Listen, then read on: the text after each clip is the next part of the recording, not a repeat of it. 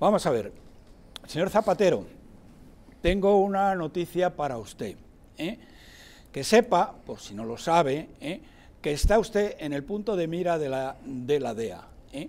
porque todos sus viajes, esos viajes de los que presume a Latinoamérica, que le están proporcionando una pasta impresionante, pero el que usted sea el representante exterior, una especie de ministro de Asuntos Exteriores de un narcoestado y de otros narcoestados americanos, eh, como usted comprenderá, eh, la DEA le tiene en el punto de mira. Y se lo digo eh, porque lo sé.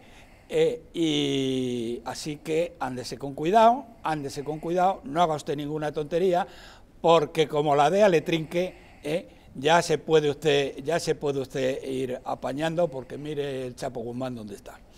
Bien, y la otra para el presidente del gobierno, Pedro Sánchez. Eh, don Pedro, la conversación de Sánchez y Delis, o la conversación que usted tuvo con Delis en el avión y las otras conversaciones, eh, que sepa que las ha registrado la NSA. Es decir, que cuando tengan que dar ustedes explicaciones al gobierno norteamericano que se las ha pedido de a qué vino eso, no le intenten ustedes engañar porque saben perfectamente lo que hablaron. Otra cosa es que no lo van a publicar ni lo van a contar, pero lo único que les digo, pero que está grabado y no les cuente ustedes una novela como nos cuentan ustedes al resto de los españoles, porque estos son de otra raza. ¿eh?